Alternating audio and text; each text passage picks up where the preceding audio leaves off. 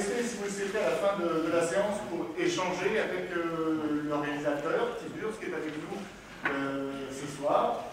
Voilà, et euh, pour prolonger euh, cette séance.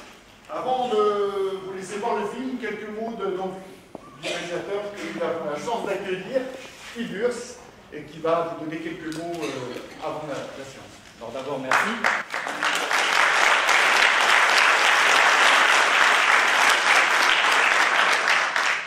Oui, merci, et surtout merci euh, à la ferme des jeux, qui, comme euh, tu l'as dit, nous a beaucoup aidé techniquement pour vérifier énormément de choses sur la qualité de l'image et du son en salle.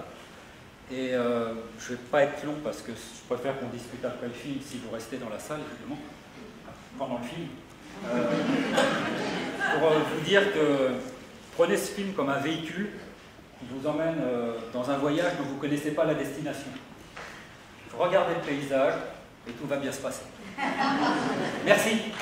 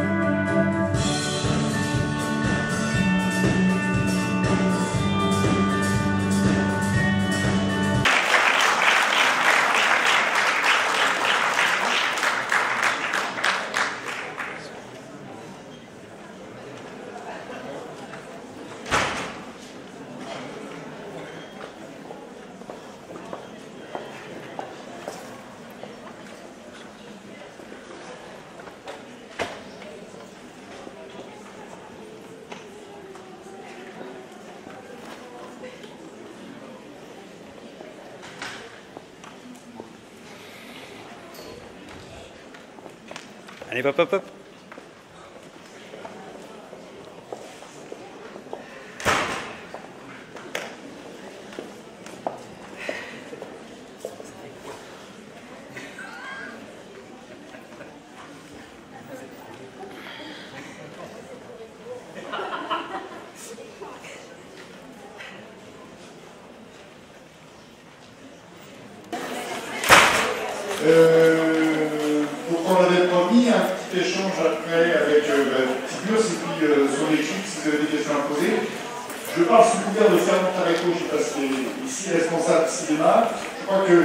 Autant nous au cinéma dernièrement c'était pour Star Wars, Merci Patron, ou La famille Bélier. Ça met le niveau hein, du film. Donc on est ravis d'avoir fait autant de monde pour euh, juste après les larmes euh, ce soir. Alors, un projet un, peu singulier, je pose la première question, puis après, euh, euh, j'irai dans la salle pour passer mon micro. Un projet singulier, on l'a dit à la fin, un, financement participatif à l'origine de ce projet. Oui, bah, d'abord merci. Il y a deux personnes qui sont parties pendant la, projection. Euh, pour Star Wars, on n'avait pas les moyens, on ne pouvait pas les réaliser. Surtout que eux ne sont pas passés par un financement participatif et nous, oui. Euh, le le financement participatif, euh, je pense que maintenant tout le monde peut bien ce que c'est. On fait une demande sur Internet d'aide, on développe notre, projet et puis il y a des souscripteurs qui nous donnent de l'argent. On a fait à peu près un, quart un tiers du budget avec le, financement. Pour ceux qui n'ont pas eu l'information, il faut savoir qu'on a fait ce film avec un peu moins de 10 000 euros. Donc ça veut dire que si on est entouré de passionnés, si on est soi-même passionné euh, et convaincu de, l'entreprise dans laquelle on se lance, bah, euh, il n'y a pas tellement d'obstacles. Et ce qui était miraculeux sur ce film, c'est que, en fait, tout s'est fait assez aisément. Euh, les personnages ont trouvé leurs acteurs et actrices d'une manière tout à fait exceptionnelle. On n'a quasiment pas fait de casting. Grâce aux réseaux sociaux, tout ça, ça s'est harmonisé. Les gens étaient prévus et puis ça posait des problèmes un peu, voilà ils sont partis d'eux-mêmes, et puis d'autres les ont remplacés et de manière bien plus efficace. Donc vraiment, on a été très très très chanceux à ce niveau-là sur le, sur le projet. Euh, c'est quand même euh, deux ans de travail pour en arriver à, voilà, à ce que vous voyez ce soir. Euh, on a assuré toute la post-production nous-mêmes parce qu'on n'avait pas les moyens de mettre 70 000 euros dans cette post-production. Donc voilà, on s'est débrouillé avec les, moyens qui étaient les nôtres. J'ai pris l'option de faire en grande partie la musique du film parce que c'est pareil, on n'a pas les moyens de payer par l'auteur.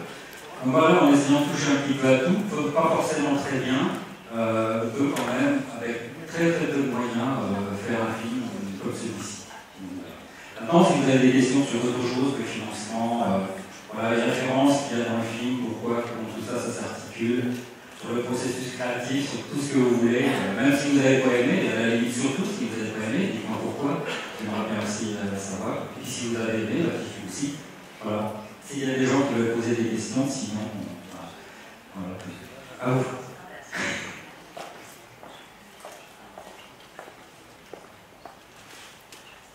Je fais partie des tout petits qui se banquent. Je vous remercie beaucoup. J'ai un mal de tête terrible. J'ai mal au tête. Je suis coincée partout. Euh, les images étaient super, l'angoisse euh, était présente, et je pense que maintenant j'aurais envie d'avoir un livre. Ah oui, c'est vrai qu'on travaille sur, euh, sur un livre du film, c'est-à-dire qui va relater un peu tout. les textes. Les textes. Voilà. Ah, texte. Les textes. Alors, on, a, on, a, prévu pour certains qui sont en fonction du niveau de. Voilà. On a fait en fait le scénario. Alors, ça sera assez intéressant pour ceux qui ont le scénario qui ont vu le film. Euh, c'est que le film, c'est quand même pas mal détaché du scénario à un moment donné. Et en fait, le film, c'est écrit, évidemment, quand j'ai commencé euh, à, passer les premières minutes sur un petit cahier gris, comme ça, pas trop savoir où j'allais avec cette histoire. C'est quand même une histoire qui m'a embarqué, je n'ai pas fait de plan, rien du tout, je me suis laissé porter par les, émotions des personnages que j'étais en train d'écrire. Et puis, euh, et puis donc voilà, le film a été écrit euh, au moment du scénario. Il s'est réécrit un tout petit peu au tournage, mais pas trop parce qu'on avait beaucoup de contraintes de temps, de lieu, d'emploi du temps des acteurs, etc. Et puis surtout, il s'est complètement, enfin, en grande partie réécrit au montage. le montage, pour moi, c'est vraiment le cinéma, sa spécificité. Il n'y a aucun autre art que, le cinéma qui permet le montage. Donc il faut vraiment l'exploiter au maximum de ses possibilités en fonction de toutes les intentions, les émotions que l'on veut faire passer. Donc voilà, on a travaillé là-dessus. Moi, avant de continuer, je voudrais quand même. Euh, je vais passer le micro aux différents acteurs, ils vont se présenter et puis ils vont dire le rôle qu'ils avaient dans le. Et je pense que vous les identifiez quand même pas On va commencer par euh, un personnage qui a été assez compliqué enfin, dans l'esprit pour moi à trouver parce qu'au départ, je voulais jouer le personnage de Lucas parce qu'il a, eu une intention dans ses textes et une diction tellement particulière, je me suis dit jamais je vais trouver l'acteur qui va être capable de, tomber dans cette tonalité-là. Et puis, après avoir fait une lecture avec les, actrices, puisque j'avais encore pas l'acteur, je me suis rendu compte que la complexité euh, des textes, du projet, euh, la manière dont le film avait été découpé et tout le travail que j'allais avoir sur le tournage, je ne pouvais pas être devant et derrière la caméra en même temps. Donc on a rencontré euh, Étienne. Le, le, contact humain a été essentiel. Je, je très longtemps avec mes acteurs quand je fais une rencontre avec eux. J'ai cuisine euh, deux heures à peu près parce que je ne travaille pas avec des techniciens de l'art dramatique, je travaille d'abord avec des, hommes et des femmes. Et j'ai besoin de savoir ce qu'ils ont dans le ventre, ce qu'ils ont dans le corps, ce qu'ils vont être capables, la confiance qu'ils vont être capables de m'accorder sur le tournage, parce que je suis un maniaque, je suis pointilleux. Euh, la moyenne des prises, c'est 12 à peu près. On est monté jusqu'à 37, on s'est établissé très souvent à 17 prises. C'est pas pour euh, frimer, c'est pas pour les ennuyer, c'est que dans les textes, il y a plusieurs émotions à faire passer à chaque fois, et c'est pas évident pour un acteur qui serait livré à lui-même de les trouver. Donc il a besoin d'être guidé, et euh, c'est vraiment mon travail euh, le plus intense sur le tournage avec eux. Euh, je reste un peu la parole. Bah, présente-toi. moi, je suis Lucas, en fait. Voilà. je sais pas quoi dire. Il est meilleur quand il a un texte. donc, eh ben, je fais des bisous à tous et je vous d'être venus. Et puis, je vais passer au suivant. bonsoir. Ben, moi j'étais Louise et Sandrine Nicolas. Et voilà, il y a des gens qui me font des gestes non, je, vous remercie vraiment à tous d'être venus.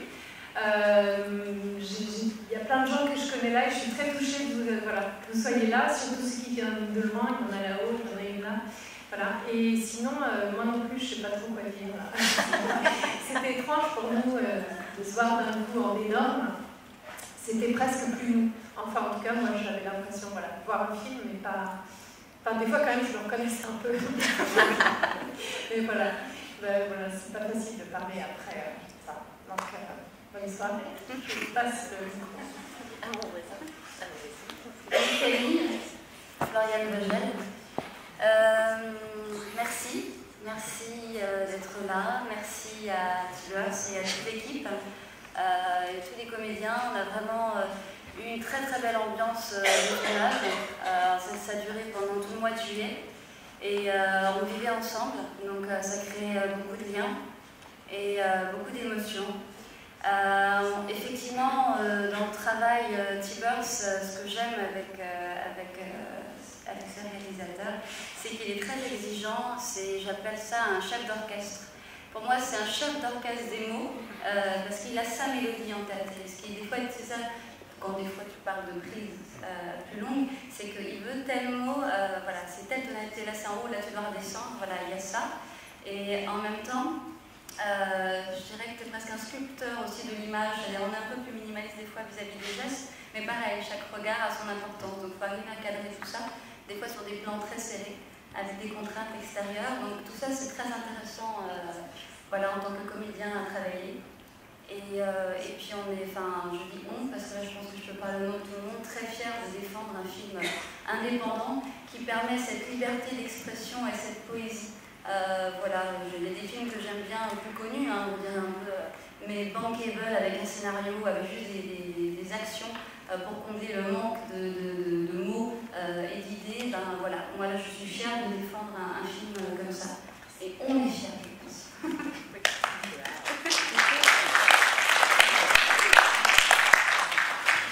Bonsoir à tous. Je suis Douce Marie et dans le film Bonnie et Pascal. J'ai eu la chance de. C'était cette proposition de double rôle de ces sœurs jumelles c'était vraiment une belle proposition. Euh, c'est difficile de parler avec toi, c'est magnifique tout ce que tu viens de dire. Euh, je regarde ces derniers temps et c'est vrai qu'on a dormi dans la même chambre, c'est pour ça. oui, c'est vrai qu'encore une fois, on a tous vécu d'abord tous ensemble. J'étais un petit peu moins là, malheureusement, avec vous, mais euh, des, des, oui, vraiment des moments. il y avait Vraiment, il y, a eu une, intimité, un truc vraiment très fort qui, s'est créé sur ce tournage.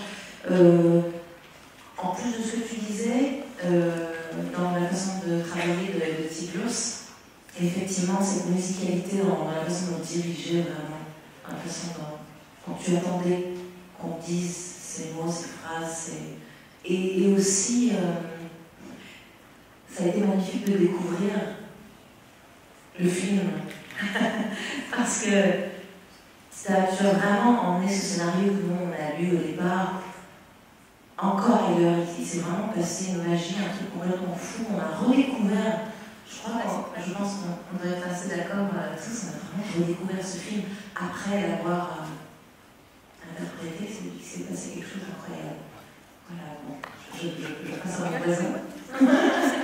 merci à tous aussi, merci à tous ceux qui ont participé au Questions de cœur et, et à tous d'être là. J'ai envie au film. Il y a aussi toute, euh, partie de l'équipe technique. Euh, on a travaillé avec une équipe minimaliste parce que on n'a pas le budget et puis c'est pas la peine de tripler les postes lorsqu'on a besoin d'un seul chef-op. Pas. Non, ra- rapidement par rapport à, l'équipe technique, c'est que, comme je disais, on n'a des fois les moyens de tripler les postes et puis c'est inutile. Il vaut bien avoir une personne bien concernée au poste qu'il doit faire. Et, et, euh, et voilà, donc c'est pour ça que toute l'équipe technique qui est là, bah, donc, il y a mon cadreur qui est en train de cadrer, parce que c'est un tic chez lui, il ne peut pas s'en empêcher. Et puis euh, Roger Meunier, qui, qui a assuré les, prises de son. Mon extraordinaire chef opérateur Didier Le Tournel, qui a été très attentif au tableau que je voyais, que j'avais en tête, et avec un minimum de moyens, il a permis de faire un maximum de choses. Et euh, lui aussi a un peu parfois peiné, parce que là aussi j'avais des exigences, mais on avait déjà travaillé ensemble sur un court-métrage, avec Florian aussi, et on avait à peu près eu le même deal euh, et les mêmes problèmes à régler. Donc voilà, c'est important pour, euh, pour, pour moi de travailler autant que peut avec les mêmes personnes parce qu'ils savent comment je bosse et, ils n'iront pas à l'encontre de que du travail et de l'exigence. Il n'y a rien de pire dans un film lorsque vous avez des acteurs ou une équipe technique qui jouent contre vous. Vous pouvez rien faire. Si l'acteur ne veut pas vous suivre, qu'est-ce que vous allez faire Vous n'allez pas lui foutre des baffes pour qu'il le fasse. Il peut vous gâcher un film. Si chef opérateur a décidé qu'il ne mettra pas les lumières là où vous souhaitez qu'elles soient, pour essayer d'avoir cette terre obscure qu'on a super travaillé, vous ne pouvez rien faire non plus. Donc il faut vraiment leur rendre hommage parce que euh, ils- ils me témoignent une confiance bien au-delà de celle que, que je veux bien moi m'accorder. Donc, euh, donc voilà, et, et face à cette confiance-là, lorsque je monte le film, lorsqu'il va commencer à devenir un produit qu'il faudra euh, diffuser, j'ai j'ai du mal à dire une œuvre malgré tout, mais enfin, bref, il va être diffusé. Mes premiers spectateurs, je sais que ce sont eux, et s'il y a des personnes que je dois surtout pas décevoir parce qu'ils m'ont fait confiance, ce sont eux. Donc là, ce soir, j'étais pas fier de vous présenter le film parce que je suis un traqueur de première, donc euh, voilà, c'était compliqué pour moi de voir autant de gens dans la salle et, et à la fois formidable. Mais vraiment, lorsque eux ont vu le film pour la première fois sur un tout petit écran, euh, leur retour allait être super important parce que si le film leur avait déplu, ça m'aurait complètement ruiné, ça aurait voulu dire que j'étais pas capable euh, d'aller jusqu'au bout d'une espèce de promesse tacite que je leur avais fait d'un film singulier, euh, sortant des sentiers battus du cinéma traditionnel, grâce à cette liberté qu'on avait, de cette espèce d'autoproduction qu'on a décidé de faire. Parce que s'il avait fallu emmener ce projet auprès de producteurs, comme d'autres projets que j'ai pu avoir, eh ben, on n'aurait pas encore tourné une seule image. Donc, voilà. Merci pour eux. Donc je leur ai fait un petit peu parler quand même. Euh, ah, les deux scripts aussi, mon Dieu. Elles sont à ma gauche, mais sans elles, j'aurais été complètement perdu. C'est les premières qui sont au générique de fin d'ailleurs, parce que elles ont fait un travail, euh, évidemment, elles consignent beaucoup de choses sur le rapport de script qui vont servir au moment du montage, mais aussi été d'un d'un soutien moral absolument euh, formidable parce qu'on a tourné entre 12 et 14 heures par jour. Et par moment, euh, vous lâchez un petit peu prise. Quoi. Si vous n'avez pas une espèce de, dimension psychologique euh, à côté de vous comme ça, simplement par une présence, euh, un petit mot, voilà. Donc ça a été hyper important de les avoir avec moi. Et le film contient à peu près 400 plans. Vraiment pour retrouver tous les petits parmi, vous imaginez 400 plans, à 17 prises par plan. Euh, le nombre de, la, voilà, la, masse de fichiers euh, qu'il fallait, fallait traiter. Et grâce à leur rapport de script, j'ai pu aller à l'essentiel. Euh, travailler entre 6 et 7 mois de montage, quasiment autant pour le son après. Et puis euh, voilà, ça a donné le film que vous avez vu ce soir. Euh, Est-ce que vous voulez dire quelque chose? Vous êtes meilleur à l'écrit alors ça. Je vais, faire parler un peu l'équipe technique et Rémi, qui est mon ami de 30 ans, qui est également cinéaste. Euh, je vous conseille de voir son film Le Chanteur, récemment sorti. Et euh, on n'avait jamais, euh, t'avais jamais tenu le rôle d'acteur dans, un défi. Tu avais été assistant sur Retardataire, tu en es il y a plus de 20 ans. Et, euh, et là, c'est magnifique. Le, monologue qu'il a à un moment donné, lorsqu'il parle comment il était au moment où sa femme est morte, la scène que vous avez vue, c'est la première prise. Après, on l'a refait parce qu'il y avait des problèmes, des voitures qui passaient, etc. dans un film il y avait pénurie d'essence, il ne fallait pas qu'on entende les voitures passer. Vous imaginez bien qu'on n'avait pas les moyens de faire la post-production, la post-synchro, pardon, euh, parce que là, ça va être idéal, mais c'est un budget qu'on pouvait faire. Je vais, je vais les faire un petit peu parler, et tout au bout, il y a notre étonnant euh, photographe de plateau. Ceux qui ont pu suivre le projet sur Facebook ont, vu passer des photos absolument magnifiques il savait être euh, hyper discret. On ne voyait pas l'objectif, et puis d'un seul coup, le soir, on voyait arriver des, photos absolument magnifiques du tournage. On n'a pas pu faire de making-of, malheureusement, et lui, ça a été la mémoire du film, mais d'une manière absolument euh, Il a d'ailleurs fait un petit euh, diaporama avec. Il faisait des, prises de son de l'ambiance du tournage. Et il a fait un diaporama qui sera probablement en bonus du DVD quand le film sortira en DVD, puisque la sortie DVD du film est évidemment prévue lorsqu'il aura fait sa vie dans les festivals, etc. Allez, je redonne un peu la parole.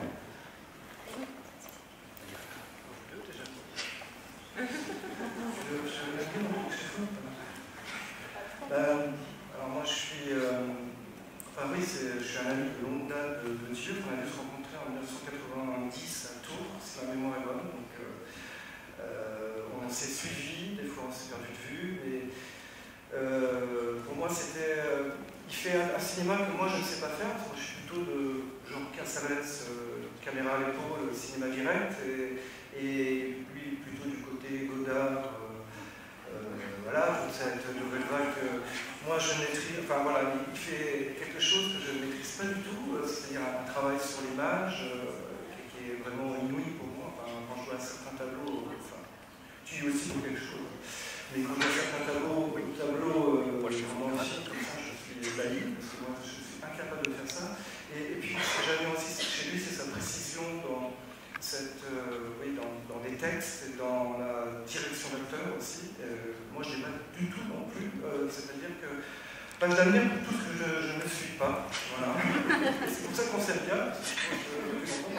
Et parce qu'il m'apprend beaucoup de choses. Et ce tournage a été aussi pour moi l'occasion d'apprendre beaucoup de choses parce que évidemment, comme je ne suis pas acteur, donc je, quand je suis arrivé dans cette troupe, dans ce, j'ai pris train en marche, parce que moi j'ai deux week-ends en gros de, tournage, euh, j'avais un peu peur, j'avais un peu d'appréhension, je me suis dit, euh, comment vais-je être reçu? Donc regarder les autres acteurs, voilà, m'effrayer un peu, surtout qu'eux savaient bien leur texte, moi pas trop bien.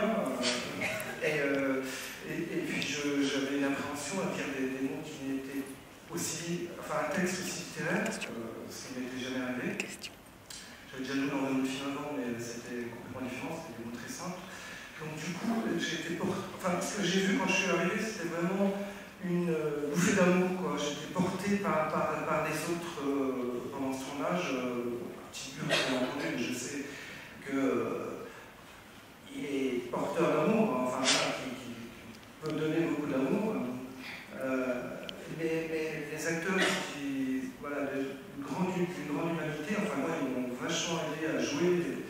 Et, ils m'ont même appris à, certains trucs euh, pour, euh, euh, dire mon texte, pour jouer mon, personnage. en tout cas, ben voilà, ce que je retiens du tournage, en tout cas, c'était vraiment une, une bouffée d'amour. Et c'est pas souvent que ça arrive, parce que même pendant mes tournages, n'arrive pas toujours, enfin, c'est pas toujours le cas. mais là, je n'ai rencontré que des gens j'ai sincèrement euh, euh, une grande humanité. Voilà. Et euh, puis moi, je suis, je suis, vraiment heureux de voir ce, ce résultat. Bon, moi, je ne comprends pas tout, mais c'est pas grave. Euh, je pense qu'il faut prendre déjà. savoir prendre, c'est déjà essentiel dans la vie. Euh, mais d'où l'intérêt de revoir plusieurs fois le film pour que saisir des moments qu'on n'a pas chopé comme ça la première fois. En tout cas, moi, c'est ce qui m'intéresse dans un film qui, qui est aussi riche. Et je pense que Tito est un cinéma riche. Et je vous invite à voir son premier film qui, s'appelle Nos amours retardataires, qui est sorti en DVD, vous l'acheter sur Internet. Euh, voilà, c'est un très très beau film. Je dis ça parce que j'ai participé aussi au film et parce que je pense vraiment que ce film mérite d'être vu et qu'il a été très peu vu. Et j'espère que ce film-là aura une plus longue et grande carrière que, que nous avons retardataire, mais voilà. Donc, bah, notre fille a, a ses filles. Excusez-moi, je suis un peu bavard, vous ne donnez pas. Vous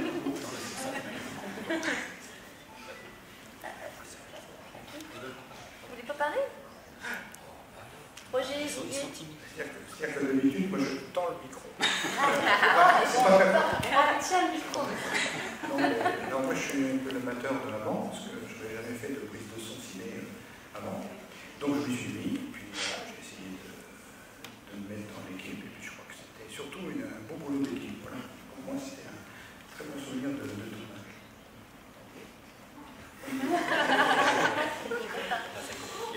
Oui, euh, enfin, moi je peux dire que c'était effectivement un beau travail d'équipe. Bon, pour ce qui était de ma responsabilité, euh, j'avais la lumière euh, comme un photographe, hein, je suis photographe, ce qui explique peut-être certains, styles de, lumière, enfin, de- d'image obtenues. Voilà, donc c'est quelque chose qui était euh, fait en publicité avec Tibius. hein. Je crois que là-dessus on s'était mis d'accord. C'est un très très beau, bon photographe, vous voyez ces photos de, de euh, Je voudrais juste remercier Figure de m'avoir laissé m'incruster euh, dans, ce beau projet qui a été mené à bien. C'était une expérience pour moi de photographe euh, assez intéressante. Je ne connaissais pas, le, je suis cinéphile, mais je ne connaissais pas le côté technique euh, du cinéma. Et de voir ce qui a été tourné, de voir le résultat sur l'écran, je suis, je suis sur le cul.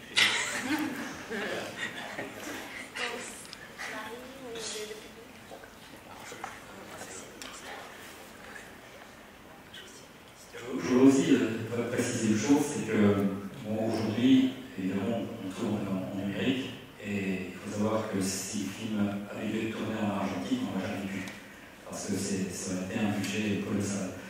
Mais euh, j'ai tenu malgré tout, malgré le numérique, malgré toutes les possibilités que permet le support, j'ai tenu à ce que la majorité des effets spéciaux soient faits à la prise de vue. Euh, ça, c'était ma manière de rendre hommage à Méliès. Et si lui faisait en argentique, je ne voyais pas pourquoi on ne pouvait pas le faire en numérique.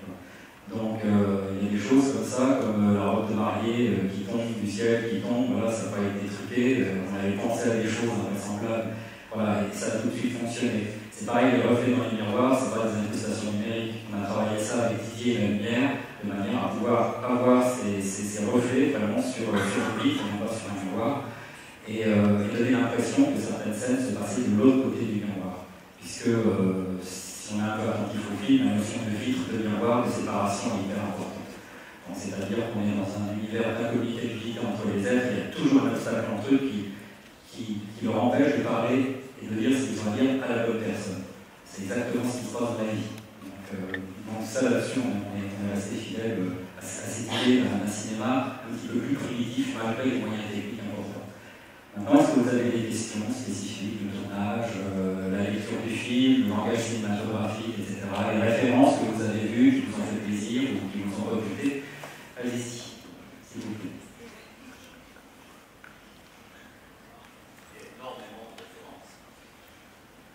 Alors oui, alors les, références, c'est super important pour moi. Moi, je n'ai pas fait d'école de cinéma, donc euh, je crains un petit peu ces institutions qui formatent les réalisateurs.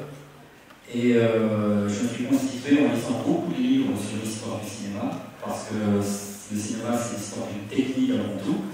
Et euh, l'évolution de cette technique a induit la création d'un langage cinématographique par le montage.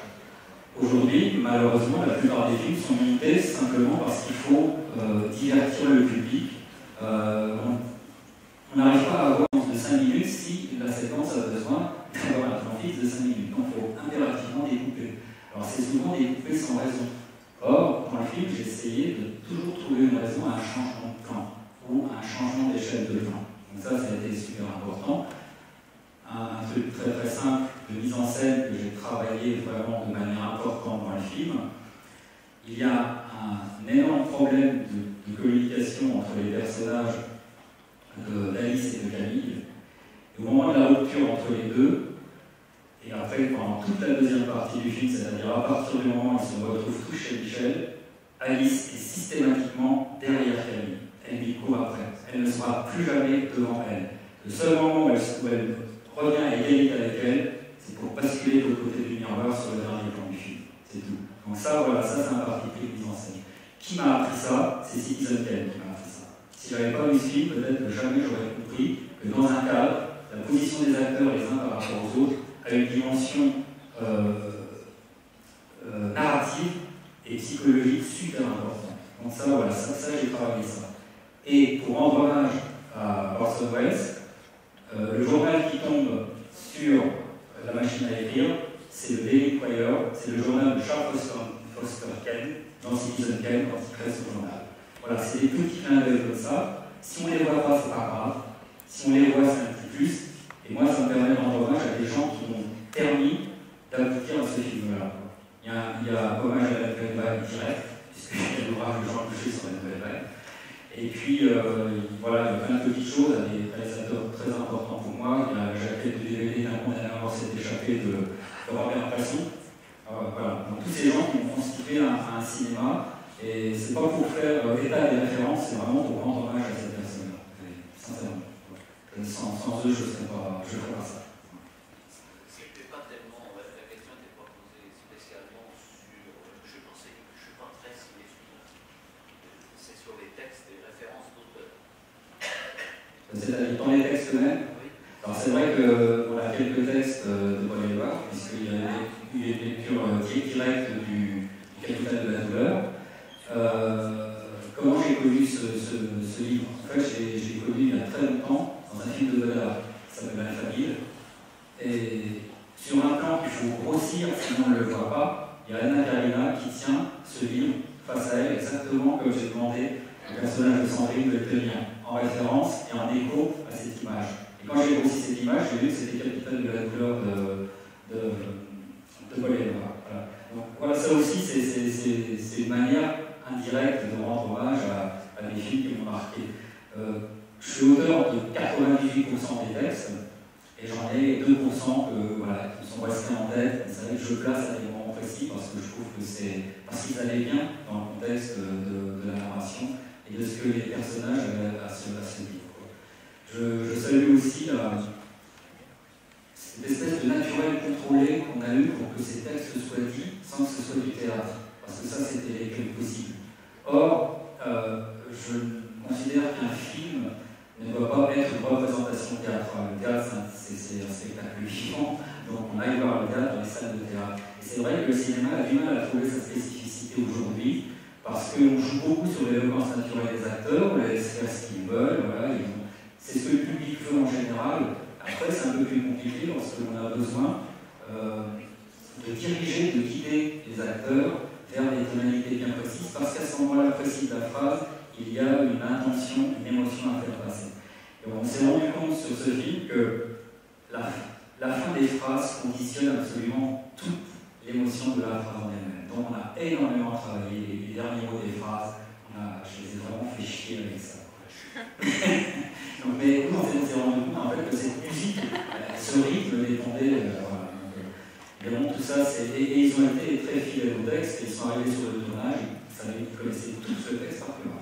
J'étais bluffé. C'est là où je trouve la poésie. Ah bah oui, voilà. Alors ce qu'il fallait, c'est qu'il fallait vraiment éviter que ça devienne aussi un exercice de récitation. Donc euh, voilà. Donc, je pense qu'on a plutôt pas mal réussi le, notre coup à, à ce niveau-là. Essayer de trouver un, ton, c'est comme, comme disait euh, Rémi, Rémi lui fait un travail où c'est plutôt euh, le ton de l'acteur qui, va prendre, qui va engager, qui va faire son film. Alors moi, je demande à mes acteurs de, prendre le ton du film qu'on va faire. C'est-à-dire, voilà, nos deux manières de travailler sont complètement différentes, et les films sont tout aussi sympathiques. Et comme il disait, il ne peut pas faire les films que je fais, je serais incapable de faire les siens, et j'adorerais faire euh, du cinéma, caméra à l'épaule, c'est cinéma direct à la Cassavetes, ce que j'admire beaucoup pour euh, le côté familial de son cinéma, un, cinéma qui, fait, qui, a tout le temps fait avec ses amis, avec sa femme, euh, parce que c'est un cinéaste indépendant et qu'il était acteur uniquement pour avoir des cachets qui lui permettaient de produire ses films. Donc, euh, c'est même pour les gens connus, c'est pas forcément évident lorsqu'on fait un cinéma un petit peu différent de trouver les financements pour exister. Bah, Celui-ci, oui, j'espère bien. euh, oui, tout à fait. Enfin, Est-ce que c'est pas un que, non, le, le risque, je trouve que c'est plutôt l'inverse. Moi, pour moi, le plus grand risque, c'est que ça ne film passe en prime time sur TF1, ce serait horrible. Ce serait terrifiant. Bah, ça voudrait dire que je suis complètement contraire. Donc, je n'ai pas du tout envie. Non, non, c'est pas, pas un risque parce que euh, nous, l'avantage que l'on a, c'est qu'on n'a pas d'obligation de résultat. Donc, si c'est pour obtenir de l'argent et imiter les films qui sont déjà certainement mal les parce qu'on n'aura pas les moyens, non, non, il faut qu'on fasse les films qu'on a vraiment envie de faire. Voilà. Après, que le film soit vu, pas vu, euh, c'est un autre débat. Euh, l'important, c'est de faire. Voilà. Nous, c'est le chemin parcouru. L'image de Compostelle, elle est importante dans le film parce que c'est aussi mon idée de la création. Euh, pourquoi Compostelle Il y a eu une référence en film, c'est parce que notre cadreur qui s'appelle Michel a fait Compostelle. Il n'arrête pas de nous dire finalement, quand on arrive à on se rend compte que le plus important c'est quoi C'est le chemin. Bah, nous, c'est pareil, le plus important c'est le chemin. Quand, je repense euh, aux premières lignes écrites dans ce cahier et que je vois maintenant le film ici et tout ce que l'on a traversé pour euh, aboutir à ça, ah oui, maintenant le film existe. Moi j'ai beaucoup de mal à le voir, le film, je ne le verrai jamais finalement. J'ai travaillé des mois et des mois dessus, donc c'est terrifiant pour moi. C'est-à-dire que je vous envie parce que ce soir vous avez vu le film que je verrai jamais. Donc euh, c'est super frustrant, ça pour un auteur. Donc je pense, je pense déjà au prochain, je suis déjà en route dans, dans ma tête, cette mission à faire vivre le plus que l'on peut, dans un maximum de cinéma de la région si c'est possible, d'avoir les mêmes conditions qu'ici. Enfin voilà, de manière. Le film, le film est parti dans les festivals. S'il peut vivre dans un contexte cinématographique, c'est bel bien euh, grâce à, à Fernand euh, de, la, la, ferme des Jeux, qui a été adorable avec moi, qui a toujours été à l'écoute euh, et qui a, compris cette espèce de maniaquerie qui m'a habité. Pour rien vous cacher, il y a une semaine, on voyait une version du film ici. Je suis rentré chez moi, j'ai réfléchi, j'ai dit non, il y a des trucs dans le son qui ne vont pas. Donc il faut que je retravaille un peu la chanson pour améliorer les choses. Ce matin, ce matin, on a vu cette nouvelle version j'ai décidé que c'est celle-ci qui serait projetée ce soir. Moi j'aime bien cette, cette idée d'urgence lorsqu'elle est, euh, lorsqu'elle est motivée par la recherche de la qualité. Euh, donc voilà, il faut, il faut travailler, je travaille beaucoup. Voilà, il se passe une semaine pour que ça existe. Parce qu'il faut savoir comme ça techniquement que entre le film que l'on a sur notre table de montage virtuelle et sa version DCP, ce qu'on appelle, qui est une version cinéma numérique, il y a trois jours de calcul de la part de l'ordinateur. Donc on était vraiment dans un état d'urgence absolue. Il fallait que ce matin, j'ai la version qui puisse la contrôler pour que les autres diffusent ce soir. Et là, je sais maintenant, c'est la version définitive que les autres cinémas auront également, les festivals, etc. Oui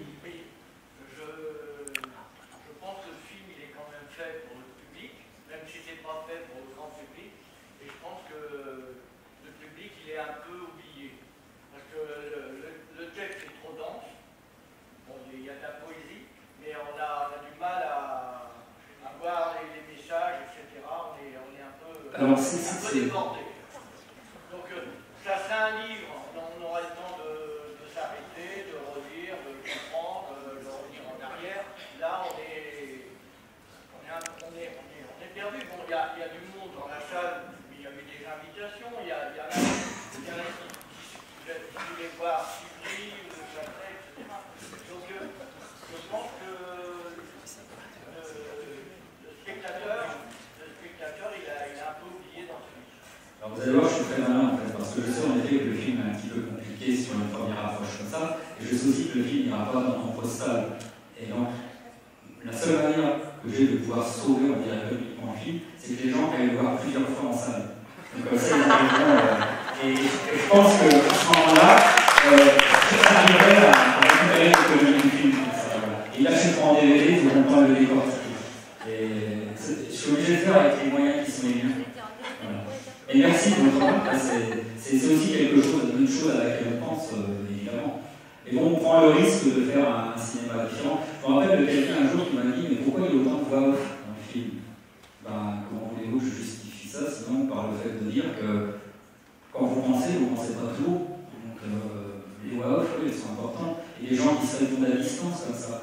C'est même un film justement sur l'incommunicabilité. Des gens qu'on ne voit pas et qui parlent dans une, scène où il y a deux personnes, je pense à Alice qui intervient souvent en voix off lorsqu'il y a euh, Louise et, Camille ensemble, puisque euh, Camille euh, en pince quand même pour Louise. Et c'est quand même l'ennemi, oui, c'est l'ennemi d'Alice dans le film. Quoi. Donc elle est là sans être là, sent sa souffrance à distance, parce qu'elle a compris, Alice n'est pas idiote, elle a bien compris ce qui se passait, ce qui se tramait. Elle veut quand même croire à cet amour passionnel. Elle dit une phrase d'Antonin Artaud à un moment, euh, romantisme mis à part, il n'y a pas de solution à l'amour pur autre que l'amour. C'est hyper naïf comme phrase, mais c'est la phrase des passionnés, et c'est quand même un grand homme euh, de littérature et de théâtre qui l'a écrite, c'est Antonin Artaud. Voilà, tout, ça, euh, tout ça se compose. oui, on ne puisse pas le lire entièrement, voilà, mais est-ce qu'on comprend forcément tout le temps la première fois un livre? La preuve, vous dites que le livre, on peut s'arrêter, on peut relire ce qu'on a fait ben, voilà, pourquoi on ne le ferait pas à un moment donné, tranquillement chez soi, un jour, quand on aura le DVD, euh, pour revoir une scène et pouvoir analyser de manière plus approfondie. Et, c'est assez jouissif de, sentir qu'il y a une autonomie de comme ça dans un scénario. Et après, dans le film montage, ça a été pareil. À un moment donné, les, scènes s'enchaînaient, les scènes n'étaient pas prévues où il fallait parce que voilà, il n'y avait pas l'impulsion qu'il fallait. Et, euh, et, quand on lit le scénario et qu'on regarde le film, on voit que les scènes ont vraiment bougé, changé, et, ça donne vraiment une autre dimension, une autre dynamique. À, un film, c'est écrit, mais c'est aussi après un langage visuel. Donc il faut travailler, il ne faut, pas, faut pas se reposer sur le scénario que l'on a pour faire le film qui sera projeté en salle. À ce moment-là, le film entre dans une autre dimension. C'est pour ça que les acteurs, l'équipe technique, ont été un peu surpris, ils reconnaissent le film, ils reconnaissent le scénario, mais ils voient que c'est pas tout à fait pareil. Et, en tant que, réalisateur, c'est jouissif euh, d'arriver à ne jamais s'ennuyer. Parce que le pire, ce serait de monter linéairement tout ce qui a été fait, en appliquant, et ça dans ce cas-là, euh, j'ai écrit un script pour, euh, sur l'ordinateur et qui manque les images tout seul. il y a des logiciels qui pourraient le faire. Ça il faut que ça devienne vivant, c'est une matière, même si on ne peut pas la toucher parce que c'est sur ordinateur, il faut que ça vous touche intérieurement, il faut que ça vous bouleverse, ça vous, percute complètement. Donc ça veut dire que en tant qu'auteur, on ne peut pas euh, faire de compromis avec soi-même. On est au service du film, c'est pas le film qui à votre service. Donc on est obligé de s'oublier derrière ça. Et ça nous empêche d'avoir la grosse tête, c'est très bien. Est-ce que euh, voilà, vous avez d'autres questions On peut réfléchir? Oui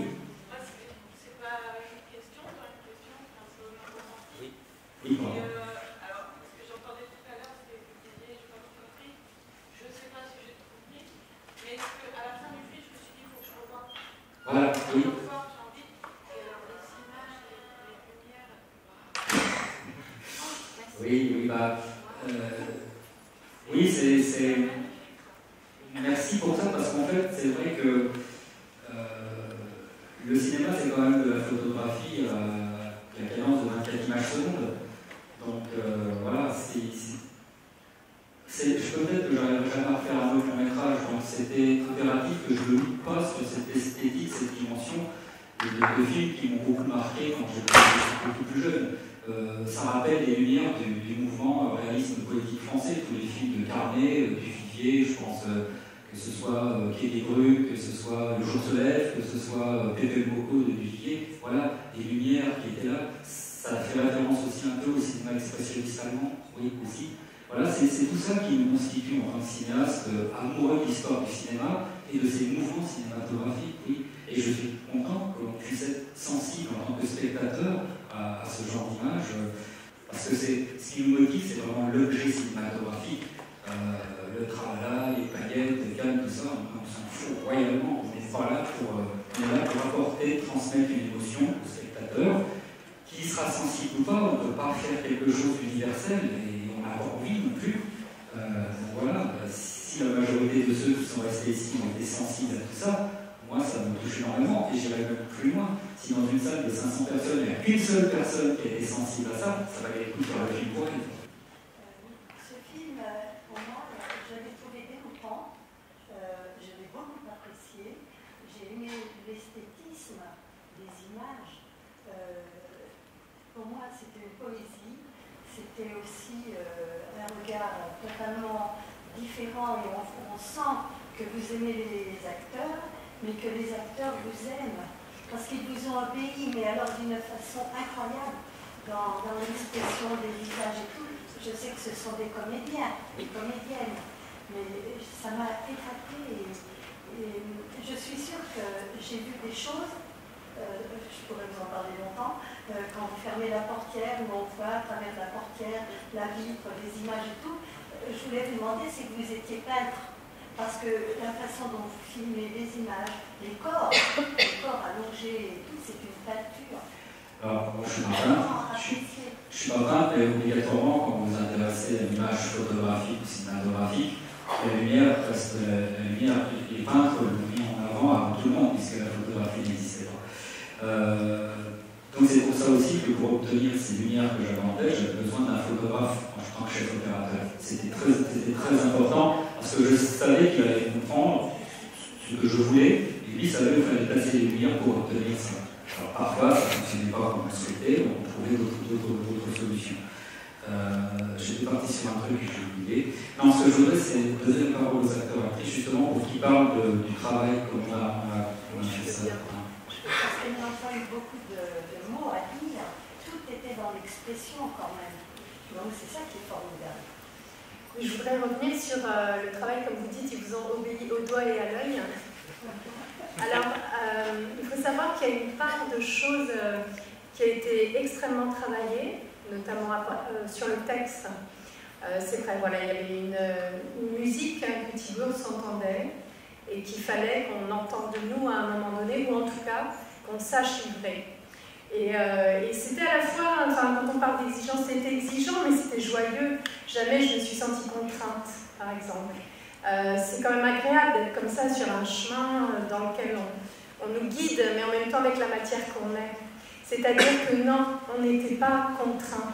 Au doigt et à l'œil, non, il volait des choses qu'on livrait. Parce que c'est ça le cinéma. on, nous livre, on, nous vole des images, on ne dit pas, tiens là, je vais faire ça comme ça ça ne fonctionne pas du tout. Par contre, il savait, mais il et aussi euh, toute l'équipe technique, parce qu'il ne faut pas oublier que sur le tournage, il y a son regard à lui, ses mots à lui juste avant qu'on tourne. Et voilà, il y a Michel derrière la caméra, euh, voilà, il y a Didier pas loin euh, qui essaye de gérer la lumière, il y a Marie, Betty, enfin voilà. Et tous ces gens-là, à un moment donné, nous ont permis de plonger les uns les autres dans notre plus grande intériorité. Et c'est ça qui donne les visages que vous avez vus. C'est cette concentration-là, mais dans une ambiance détendue et joyeuse. Je tiens à dire parce que c'est un drame, mais euh, on a ri comme des baleines. Il y a des plans que je vois et je sais quel fou rire on a eu juste avant. Donc voilà, ce que je veux dire par là, c'est que cette exigence était bienveillante et, euh, et parfois il savait aussi nous laisser une grande liberté. Il y a des scènes qu'il a demandé comme ça aux acteurs juste d'improviser quelque chose. Et euh, les chansons, par exemple, les trois actrices, on a des chansons. Et euh, il y en a une comme ça qui a improvisé dans l'église. Et puis le, soir même, il a demandé à Florian, à moi, il a dit écoutez, les filles, il faudrait que. Peut-être une chanson pour demain. Ah On a donc la nuit pour composer, écrire. Non, mais peu importe, il y avait comme ça une ambiance très créative. Et il rend les acteurs créateurs. Et c'est ça qui est. Euh, voilà, on ne se sent pas. Euh, pieds et poings liés à devoir livrer quelque chose, on y va avec vraiment un grand consentement et en plus on a ce sentiment d'être libre et de l'avoir nous aussi euh, fabriqué finalement. C'est pour ça aussi que des textes très littéraires euh, paraissent naturels. Par contre, on a bien bien bossé les textes. Moi, je tiens à dire aussi que quand j'avais 34 prises par moment, c'est parce qu'il y avait un avion qui passait, une voiture. Parfois, c'était. Mais bon, tout ça était. Enfin, voilà ce que j'ai à dire sur le, travail d'acteur et, et, au plateau.